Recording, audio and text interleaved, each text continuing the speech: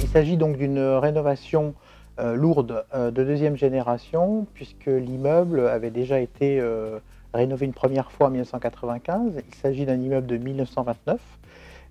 et qui avait subi pas mal d'outrages lors de cette rénovation. En fait, les, principaux partis pris de cet immeuble, c'est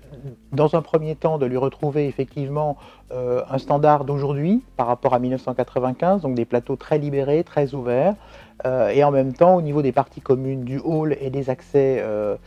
principaux, euh, de retrouver à cet immeuble des lettres de noblesse qu'il avait perdues. Donc il s'est agi euh, dans un premier temps de retrouver une évidence euh, d'accès, c'est-à-dire entre la rue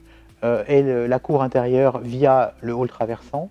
et également euh, de lui retrouver un escalier monumental qu'il avait perdu en 1995, et également euh, la Art Gallery que nous avons ménagée donc euh, toute en façade sur la rue, puisque la rue d'Amsterdam étant une rue extrêmement passante, nous permettons effectivement aux, aux, utilisateurs et aux usagers de pouvoir très très vite rentrer à l'intérieur de l'immeuble dans cette Art Gallery, et nous avons à l'intérieur de cette Art Gallery la chance d'avoir une œuvre d'art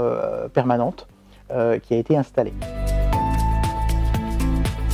Le rôle du béton dans le projet, il est de deux ordres. Euh, le premier, c'est effectivement d'avoir permis la reprise de tous les plateaux de bureaux, d'avoir supprimé un grand nombre de points porteurs, et en même temps, effectivement, d'avoir dégagé complètement les plateaux de bureaux euh, pour qu'ils soient le plus fluides possible. Euh, la deuxième chose, c'est qu'on est intervenu beaucoup dans les niveaux en infrastructure, et en infrastructure, le béton nous a permis de dégager de la même manière un ensemble d'espaces et de retrouver un espace de rez-de-jardin qui n'existait pas. L'autre rôle du béton dans ce projet, c'est le rôle architectonique du béton, euh, via effectivement euh, la construction d'un escalier monumental. Et nous avons donc conçu un, escalier monumental avec un mur des chiffres. Donc je rappelle qu'un mur des chiffres, c'est un mur effectivement structurant qui tient les marches et le palier. Et euh, ce mur des chiffres, qui a été donc travaillé de manière contemporaine, a été coulé en béton blanc avec des inserts à l'intérieur. C'est un vrai ouvrage d'art puisqu'on est dans un immeuble existant en plein cœur de Paris. Nous avons euh, une, banche qui a été euh, spécialement conçue pour, euh, pour cet escalier.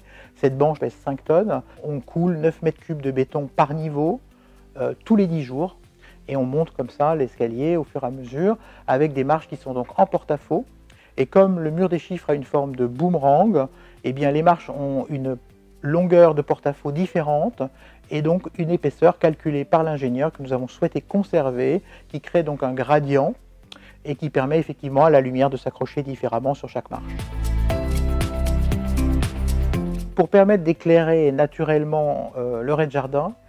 des planchers de verre donc, apportent une lumière zénitale complète et le centre du rez-de-jardin a été aménagé euh, avec un jardin extérieur dans la cour grâce à des fosses à arbres euh, qui sont euh, sur une hauteur d'étage et qui permettent de recevoir suffisamment de terre pour avoir un jardin qui va forcément bien se développer à l'intérieur de notre immeuble et du cœur d'îlot.